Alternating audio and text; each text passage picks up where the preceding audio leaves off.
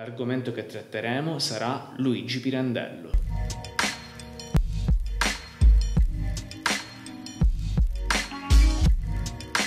Luigi Pirandello nasce ad Agrigento nel 1867.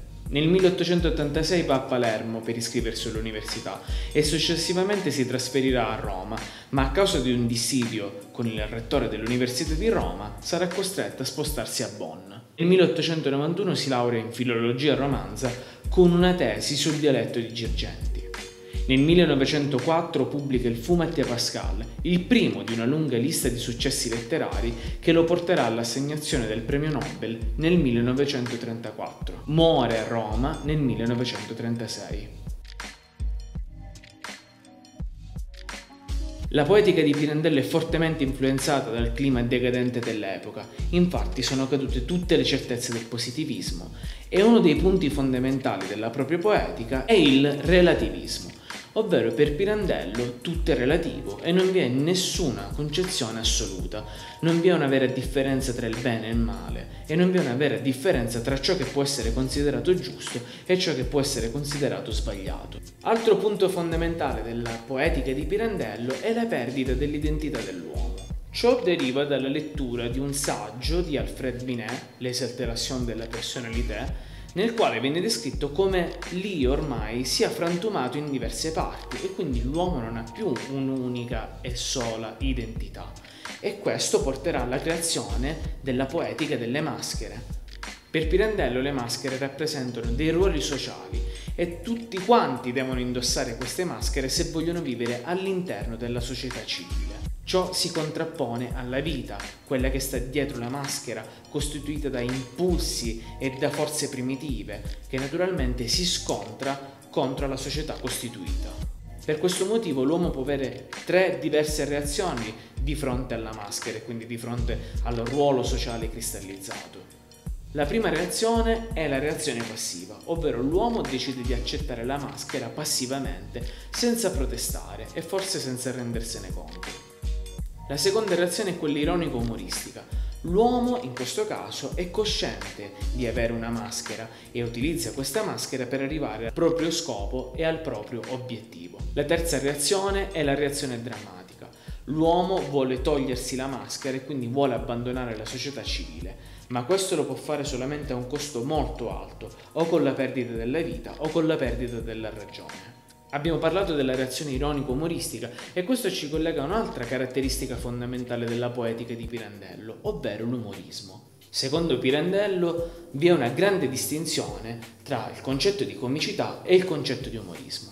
La comicità viene descritta come un avvertimento del contrario, mentre l'umorismo viene descritto come un sentimento del contrario. Per capire meglio, Pirandello ci regala all'interno del suo saggio L'umorismo, pubblicato nel 1908, un esempio paradigmatico. Immaginiamo una donna molto anziana che si veste e si trucca come una ragazza. Questo naturalmente provocherà grande comicità e quindi questo è solamente l'avvertimento del contrario. Ma poi Pirandello cerca di descrivere le motivazioni per cui questa signora si veste in questo modo e molto probabilmente è innamorato di un uomo molto più giovane di lei ed ecco che subentra piano piano l'umorismo, ovvero il sentimento del contrario. Dopo un'iniziale risata superficiale vi è qualcosa di più profondo che porta a ragionare sulle motivazioni di questo personaggio immaginario. Per quanto riguarda le opere, una delle opere più importanti di Luigi Pirandello è il Fu Mattia Pascal, pubblicato per la prima volta nel 1904. Mattia Pascal è un uomo ingabbiato all'interno di un lavoro molto noioso, quello del bibliotecario, ingabbiato anche all'interno di una vita matrimoniale che non lo soddisfa più. Per questo motivo decide di andare a Nizza e poi decide di andare a giocare a Monte Carlo all'insaputa di tutti. E dopo aver vinto una grossa somma di denaro, mentre ritorna sul treno legge sul giornale della propria morte, ovvero i concittadini si accorgono della sua assenza e dopo aver trovato un cadavere all'interno di un fiume, Mattia Pascal decide di ricominciare una nuova vita, cambiare luogo, cambiare nome e cambiare il proprio aspetto. Mattia Pascal si innamorerà di un'altra persona e vorrà iniziare una nuova esistenza, però tutto viene bloccato dalla mancanza dei documenti. Infatti Mattia Pascal per potersi sposare ha necessità di avere dei documenti, ma per la società Mattia Pascal non esiste più, è morto. Così Mattia Pascal è costretto a ritornare alla vecchia vita, questo è il tipico esempio di una reazione passiva, ovvero Mattia Pascal prova a togliersi la maschera del bibliotecario, ma in realtà non ci riesce. Nel 1925 viene pubblicato un altro romanzo molto importante, Uno, Nessuno e Centomila. In questo caso il romanzo tratta di Vitangelo Moscarda, un uomo che ha ereditato la banca da suo padre e che ha sempre vissuto nel lusso.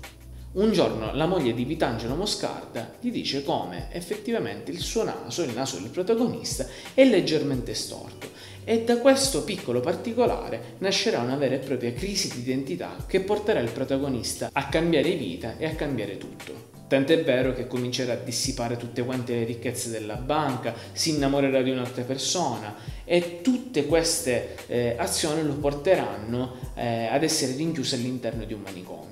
Vitangelo Moscarda rappresenta la reazione drammatica, ovvero l'uomo che cerca di togliersi la maschera e di far andare avanti la propria vita, anche a costo della propria sanità mentale. Nel 1922 Pirandello pubblica la prima edizione di Novelle per un anno il titolo sembra cercare di dare un certo ordine, novelle per un anno, ovvero una novella per ogni giorno dell'anno, quindi all'incirca 365 novelle, anche se Pirandello riesce a scriverne solamente 300. In realtà dietro questo titolo si nasconde una metafora, ovvero la metafora della vita. Infatti all'interno della raccolta delle novelle tutte queste storie sono messe senza un ordine ben preciso, senza seguire un ordine tematico e ciò rappresenta una sorta di collegamento alla vita. La vita sembra essere ordinata ed equilibrata, ma in realtà è ricca di caos. Pirandello avrà una ricca attività drammaturgica e l'attività teatrale pirandelliana può essere suddivisa in quattro parti.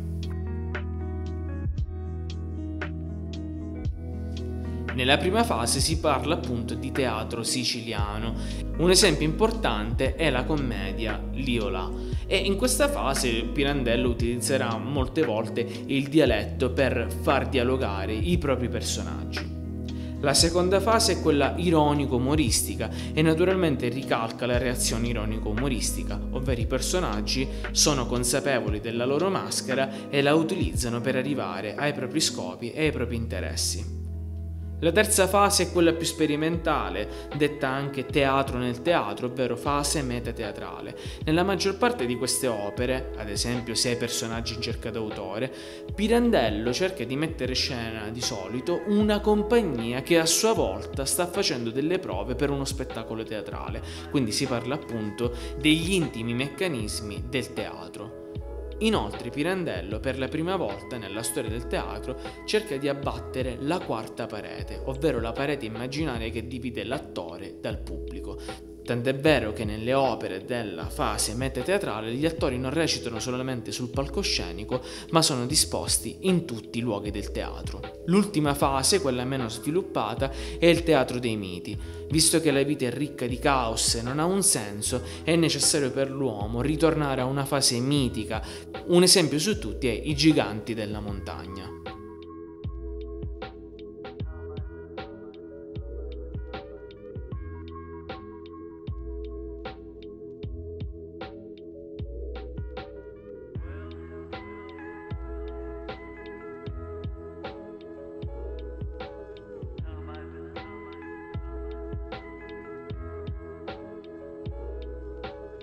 Anche per oggi abbiamo concluso. Ci vediamo alla prossima video lezione. Mi raccomando, buono studio.